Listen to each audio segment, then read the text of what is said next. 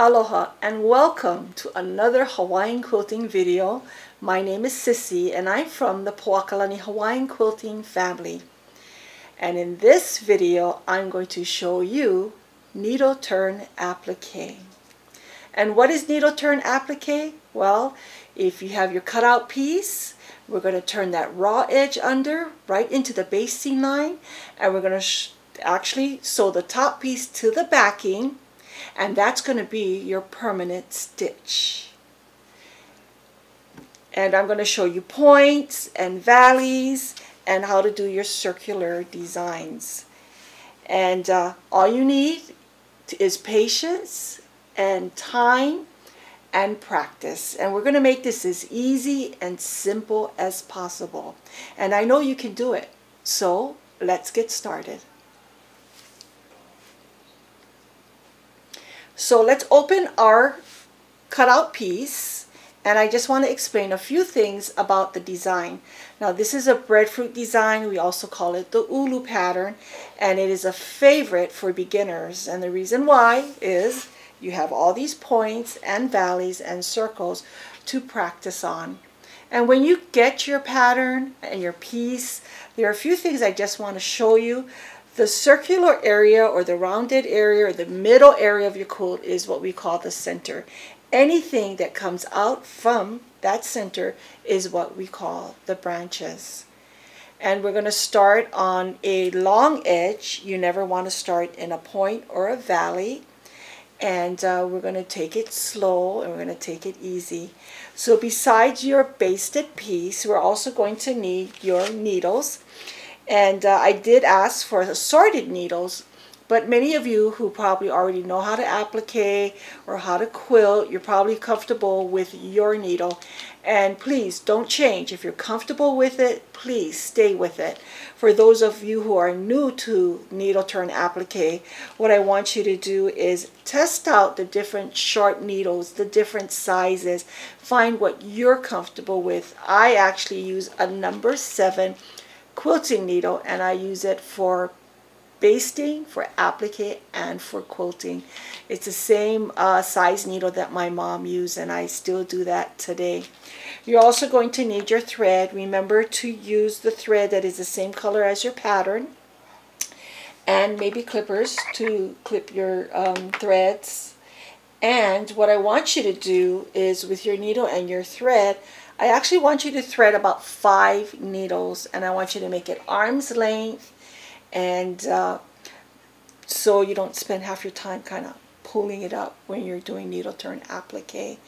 So I've got my piece, I've got my thread needle, uh, my I should say my needle threaded and uh, let's get started. So we're going to find that edge. You want to find that long edge to get started and uh, I just want to show you the position of your hand.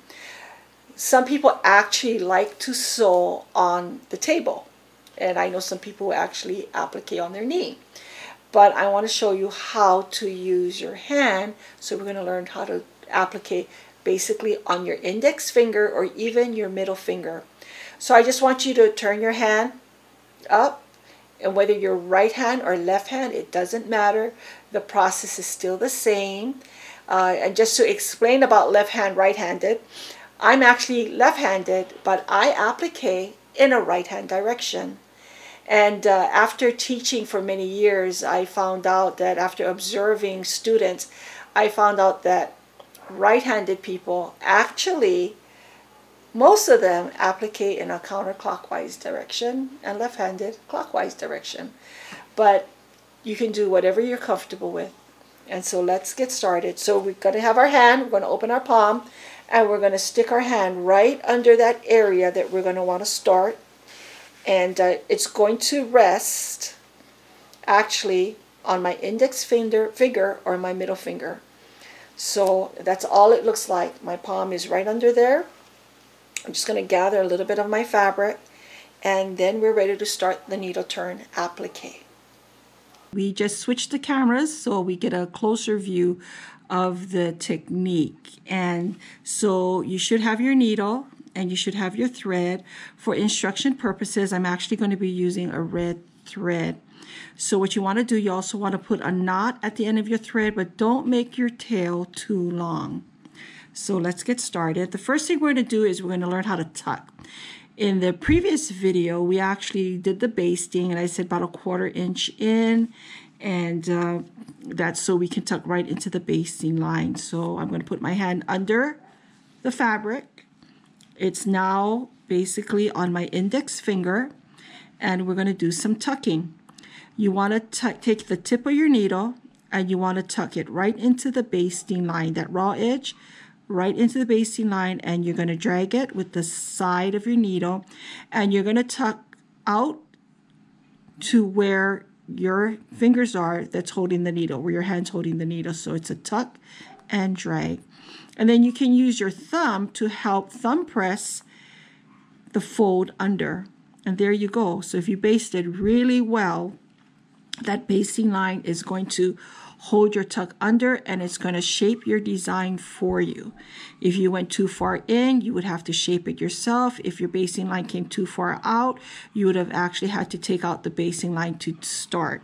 So let's go again. We're going to take that edge, we're going to tuck it right into the basting line, drag it under, and there you go. So let's do our first stitch. We're going to go in between your back piece and your top piece and we're going to hide our knot in between the layers. So you're going to come up on almost on the folded edge, right at the edge there. Push it through and you see your tail, you're just going to tuck it right under there. And we're ready to make our first stitch. Now because you're on a long edge, you actually can tuck about an inch and you can do four to five stitches. Just leave it there, use your thumb, and you want to get your thumb as close to where your stitch came out. So let's do our first stitch. This is where you came out. You want to go right next to the stitch, but pick up your back piece. Do not pick up your folded or the top piece. So you're going to come under and you're going to go right there next to that stitch that you came out. Pick up your bottom piece and I'm going to put my thumb right there to help make the stitch a little smaller. And there is your first applique stitch. Going to do a couple more. This is where you came out. Go right next to that stitch, but on the background fabric. Pick up your fabric. Here's my thumb right there, and I'm going to push up, and it's about eighth of an inch. And we're going to go again. This is where I came out. Go under, right next to it. Pick up your bottom fabric and come up on the folded edge. You don't want to come out too far, and you're going to have a longer stitch in this direction. If you go too far in, you're going to see your stitch in that direction. So you're just catching the folded edge. So again, right next to that last stitch, pick up the background fabric and you can use your thumb to help cut off the stitch and make it smaller. And then, of course, you just keep going and you're probably going to need a thousand of these stitches. And you're going to pick up a rhythm you're going to pick up a consistency. For those of you who are just starting to do needle turn applique, uh, you might not be happy with your initial stitches, but in our classes, we tell our beginner students we don't want you to take any of the stitches out. You just continue, just keep going, and I can promise you that when you get to your end, when you come back around, you're going to be really happy with the stitches you made. It just takes time and it just takes practice to learn this technique. And you could do, I think I did like, oh, more than five stitches. Again, you're just going to tuck it right there, smooth it out, use your thumb, and we're going to keep going. And that's how we do needle turn applique. And it's just very small stitches. And I want to see if we can turn it over and there you go. I think you can see all the stitches here that we made and small and consistent and you should be good. And so in the next step I'm actually going to show you how to do a point. Okay so I'm just going to keep continuing to applique here there you go. our quilters love to, um, you know, you get so good at doing this that you're not going to have to concentrate so hard in making these stitches. We're just going to keep going. And we're going to get into the point. So when you get to a place where you're going to come to a point, what I do is I, I just tuck that whole point under. I'm just going to point it under and then I'm just going to hold it down and I'm going to sew all the way to that tip. Oops, lost my thread here. You know, the Hawaiians, um, back when they first started making quilts for applique, when they did their applique, they had only one color thread, and that was white. So if you look at all the antique quilts in Hawaii, or if you know anyone who has an antique Hawaiian quilt, their thread is always white, and they applique in the white thread, and they even quilted in the white thread. And their stitches were absolutely amazing. But now that we have so many different color threads and fabrics, so sometimes we match it. There are some people that want to do that antique look and they will still use that white thread. Okay, so what you want to do is we're coming very close to our point here. And uh, I'm just going to go to like the second to the last stitch from that point. And you want to get that edge as much as possible because this final point, this final stitch is actually going to be your new point. So I'm going to come up here. Now there are some people who actually um, if you're doing a pineapple, you're going to have very thin points and you're going to have this little excess here. Those you can actually snip off. I don't have much here, so I'm just going to tuck that under. So I just turned my piece around and we're going to do the point. So this last stitch here is going to be my new point. And you can either use your fingers or you can use your needle. You're just going to tuck that tip right under your last point and we're just going to miter it. And then I like to use my finger at this point. I'm just going to take this tuck, I'm going to tuck down into my, the opposite end of my leaf. There, there's my point, and you want to just kind of like pull back on this thread, and there's your sharp point. And we're going to just sew that tip down at the tip, push it through, Ta-da! There's your point. And you notice that we're going into our valley.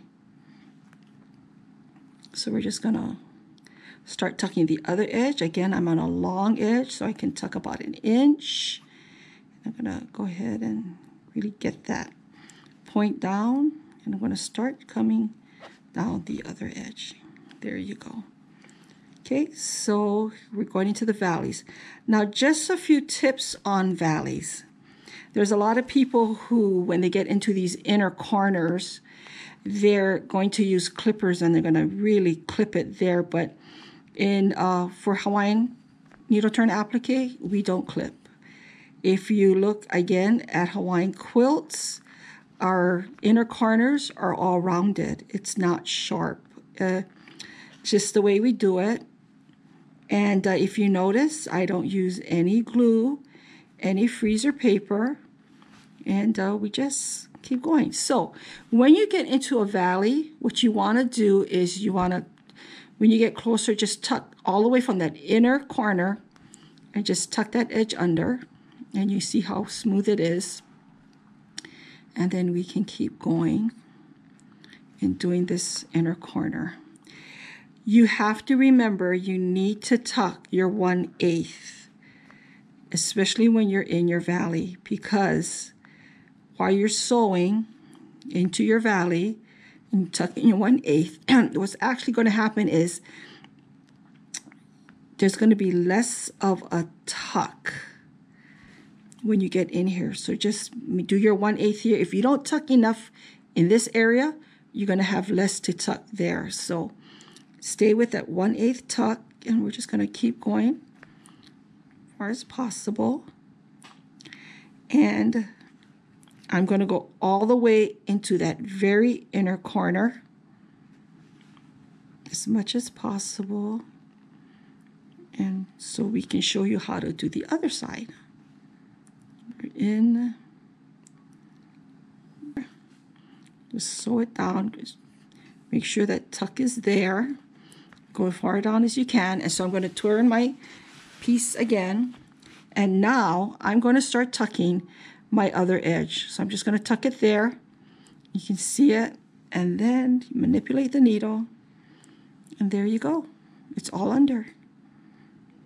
So remember, always tuck about an inch, half inch from where you're sewing. And then I have my rounded valley. And just tuck it in there. And if you're not comfortable, you know, you can just go ahead and just do two, three stitches there. And uh, I know some people who do a chicken feet stitch in that inner corner. And there you go. And there's your valley. So the next thing we're going to do is we're going to, I'm going to thread another needle and we're going to learn how to do these round circles. Okay, so I'm going to just leave this here and let's get started. So the curved sections of your applique uh, you might not be able to tuck about an inch and then sew 45 stitches. This is a little different. It's not hard. All you're going to do is start your needle, make your knot, and what you do is a tuck sew, tuck sew. Because you can't make as many stitches as you can, so you just have to be careful that you're going to do a shorter tuck and just keep doing a tuck and a sew so you get that shape. And you notice that I don't always use my needle. I'll actually use my fingers and that works too as long you get that tuck under. And we'll do the curve. We're trying to curve this whole piece. And then we just keep going. And just you keep turning. Make sure you're getting that curve. You see how we're getting that curve? And we just keep going not too hard. Isn't this simple? I said I wanted to make this as simple as possible. And, and you're probably asking, well, okay, I'm almost done with my whole needle. How do I go ahead and end it? Well, there's no fancy step in ending. You just bring it to the back like this. I like to pick up uh, on the applique, where the applique is. Just going to pick up a little of the fabric. And I'm just going to take my thread, twirl it three times, push it through. There's your knot. And then all you have to do is go ahead and snip it close. And there you go. And that's it. And that's needle turn applique. Wow, so how did you do with your needle turn applique? I hope it wasn't too difficult. I'm trying to make it as easy as possible. All it takes is time, patience, and a lot of practice. So if uh, you're finished, actually people always ask, how long is it going to take me to finish my applique? And I know people who can do it in a day, and some people a couple days, some a little longer, some even three weeks. It's up to you.